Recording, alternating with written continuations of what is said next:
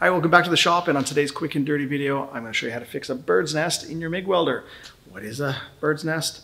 What causes it? And then how to fix it and get you back welding. So if you want to know more, stick around.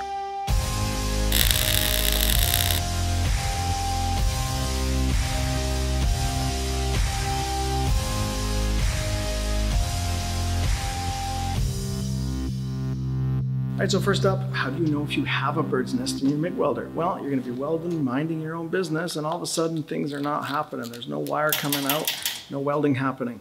And often, if you look inside your nozzle, it's gonna look like this. So you can see that, hours and hours of welding without cleaning this thing. Spatter has eventually filled up there.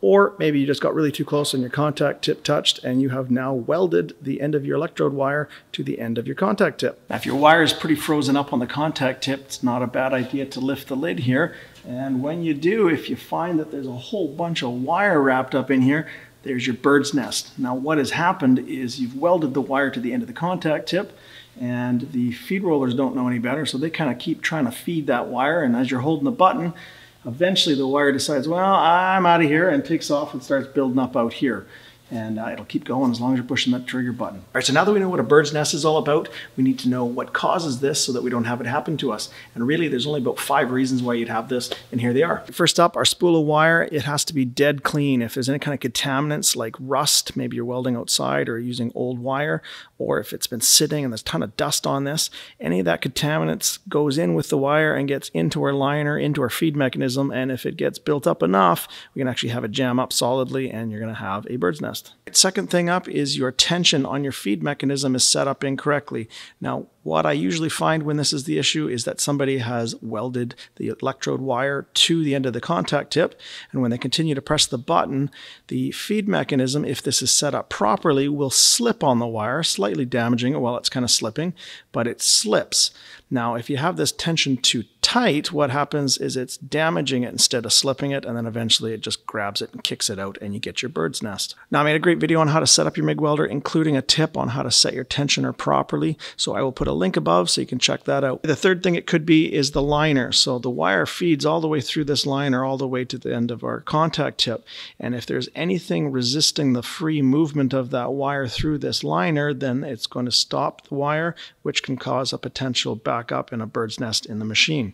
So things it could be is an old liner that is just literally worn out. Uh, there could be some rust in there if you're doing this welding outside. Uh, you could also have a liner that's been damaged. Maybe somebody's rolling a dolly over it or it's been bent really harsh angles. Uh, so any kind of damage to the liner can also cause a bird's nest. So the fourth reason for bird's nest and really quite common is that you are welding for hours and hours, maybe days on days without cleaning this, or maybe you got some incorrect settings going on and you have excessive spatter that's building up up on the inside of your nozzle. Now, eventually, if you don't clean this out, that spatter will connect and eventually weld the wire or the electrode right to the contact tip, which stops the wire from moving, but you're still pushing the button, asking those feed rollers to keep driving the wire. And after a couple seconds of doing that, it can start to back up and build up with a bird's nest. Finally, the last problem that might be causing bird's nest in your MIG welder is that you are running with the wrong parts for the size or the diameter wire that you are using. So for example, you could have the wrong size contact tips, wrong size drive feed rollers, uh, anything that is not matched is going to have issues. So for example, I've got a 40 thousandths contact tip, but a 35 thousandths wire, and you can see there's quite a lot of play in there. That's not going to be a good fit and could cause some potential issues. And if we were to go the other way, where this was 35 thousandths and this was 40 thousandths, as soon as that wire hits that contact tip, it's going to jam. And if you keep trying to feed it through, it's going to cause a bird's nest. So make sure you got the right parts in your system. Okay, that's some cool info, but how do we fix this bird's nest so we can get back to welding? Well, first thing is we have to separate the mess of a wire over here from our nice spool wire here. So we're gonna cut this, but we have to be careful because if we just cut that, this is gonna unwrap like crazy and you're gonna have a huge mess and uh, lose a lot of wire that way. So we're gonna clip it and then we're gonna put it somewhere in here. There's a little hole that's already in the spool here. You can just kind of bend it and make sure it stays put while we fix the other part. So let's start this.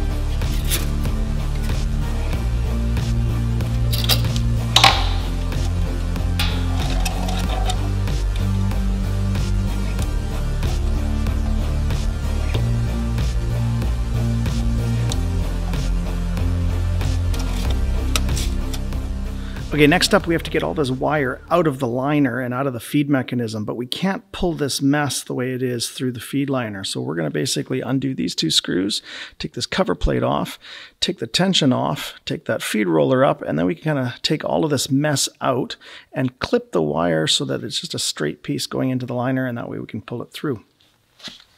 Now, really important to note, now that I'm in here and I could possibly touch stuff I don't want to, I've actually got this thing powered down and unplugged, so I'm completely safe here.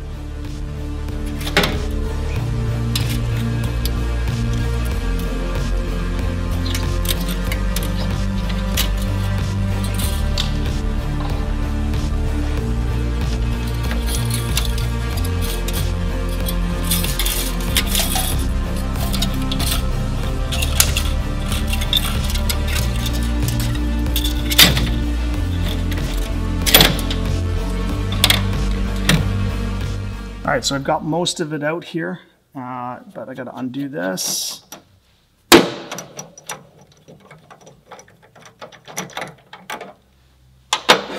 Okay, and you can see it actually supposed to go through into the liner here, but it kicked out for some reason. So we're to kick this out. And if I can pull a little back, I can't really pull back. So what I want to do is cut this as close as I can to the end here. So there's a straight section that I can pull through the liner. Now I can try to bend it a little bit too, just so it's more straight, so it's not going to cause any damage to the liner as I feed it through. Now in this scenario, we've got so much spatter in here that it has literally welded the wire to the end of our contact tip. So we got to clean this and free it up there so we can pull the wire out. So let's do that.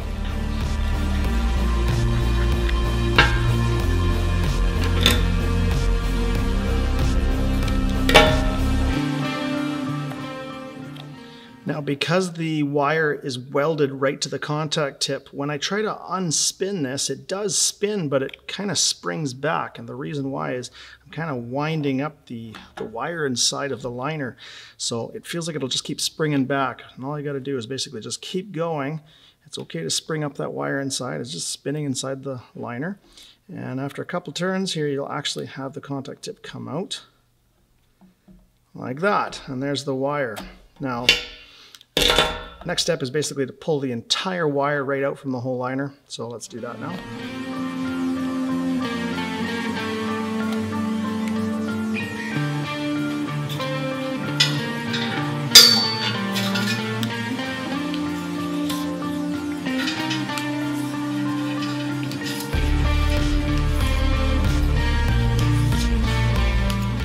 All right, there's the end. So here's your contact tip. We're gonna try to salvage this so we can just clip that off.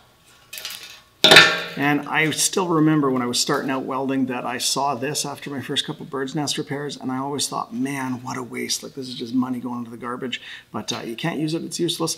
And realistically, we're only looking at pennies here. This isn't a lot. So this goes in the scrap bin, and then uh, let's clean up and free up this wire from this contact tip.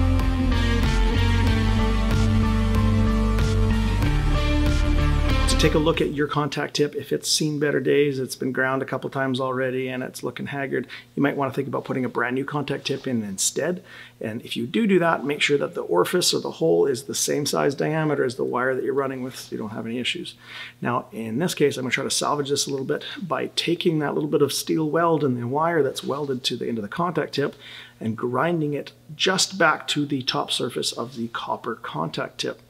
Now, the trick to know when to stop is when you get the top kind of shiny copper, that's about where you want to stop, and you'll know you're good because the very center, you'll see the little diameter of kind of a shiny gray steel wire. And uh, that's when you know you're ready to pop this back out. So let's grind this flat and I'll show you what that looks like. Safety glasses.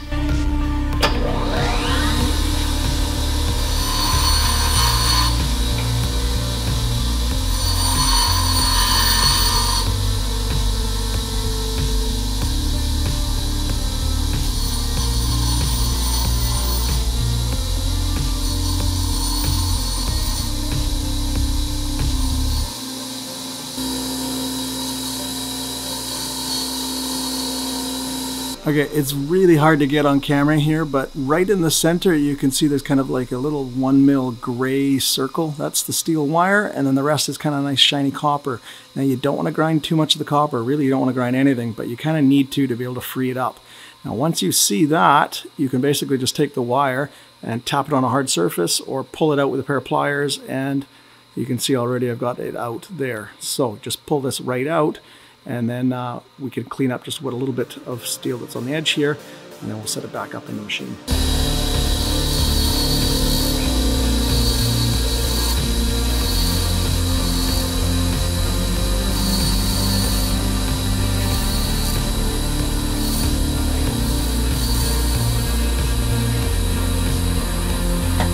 All right, yank that wire out. And really, it should go in that hole nice and easy. If it doesn't, you can get a gas welding torch tip cleaner set and just kind of make sure that opens up. And when you put the new wire in, just make sure it goes in fine. You're not going to try to force it and you feel friction as you try to put it on the wire. And then this, the, the culprit here, we need to clean this out.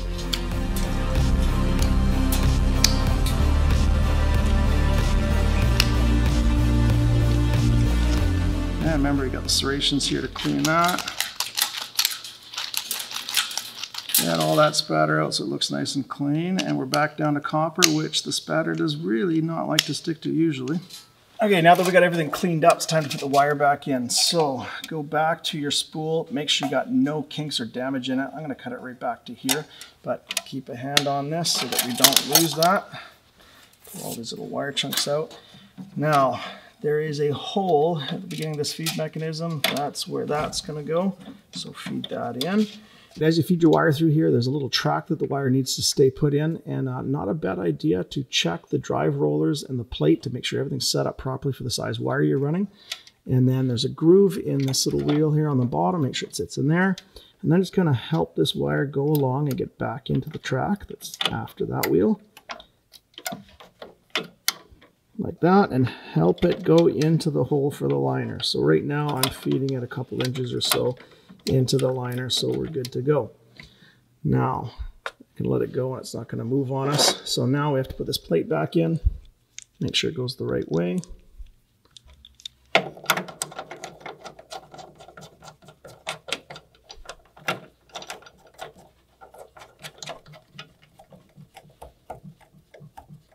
And these could be just finger tight. They don't need to be with a pair of pliers.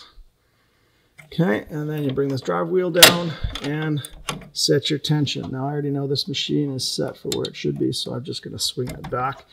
Uh, but for you, make sure your tension's good. At this point, now comes the fun part. So make sure it's plugged back in. You leave this open or not, that way you can kind of see if there's any issues going on. Turn the machine on and push the button. Now, when you push the button, you should kind of make sure that everything's feeding okay. Don't have a bird's nest starting again for some weird reason.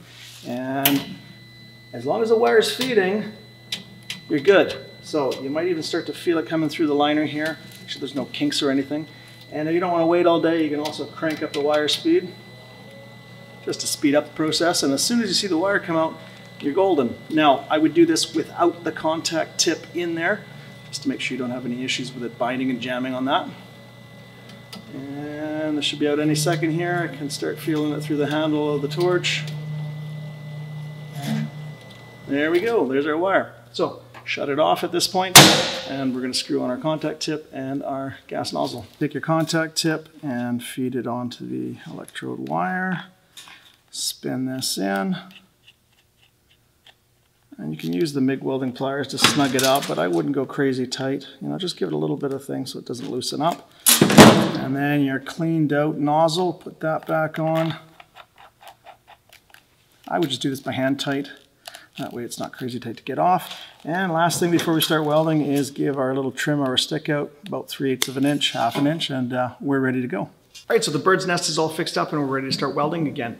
Now, if you continue to have problems with the bird's nest happening pretty much right away, then something you have done here is still not correct. So go back, check the other issues we talked about. Now, there is one other thing we can do here we talked about one of the most common problems is that spatter starts to build up inside of our nozzle and then eventually stick the wire to the end of our contact tip. So there is another little thing you can do and it's called nozzle dip. So the idea behind nozzle dip is basically it makes a thin film on all the stuff inside there, your contact tip, your nozzle, so the spatter hits it, doesn't want to stick to it, falls off, and it keeps it cleaner longer. Now, people kind of think it's like chip dip, where you kind of weld, weld, weld, and you dip it in every now and then, and you just keep welding. That's not how it works. In fact, this is going to cause a lot of issues and porosity in your welds if you have a lot of it still in there. So here's my suggestion. You don't need it all the time either what I would do is grab a scrap piece of steel at the beginning of your workday, weld for a good minute or two, get this thing nice and hot, do one little dip down into it, about an inch or so, half an inch, and it'll smoke a bit because it's nice and hot. So that means it'll burn off the extra and kind of leave it still in this container.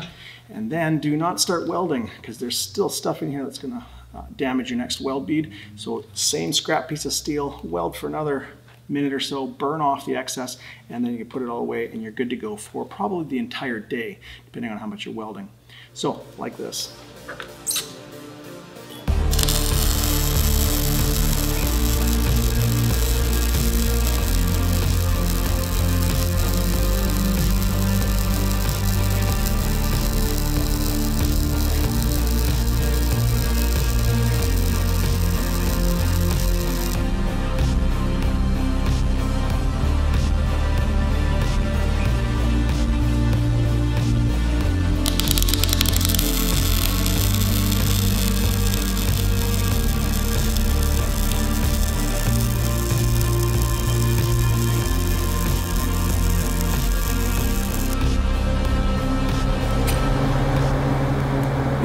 Good to weld.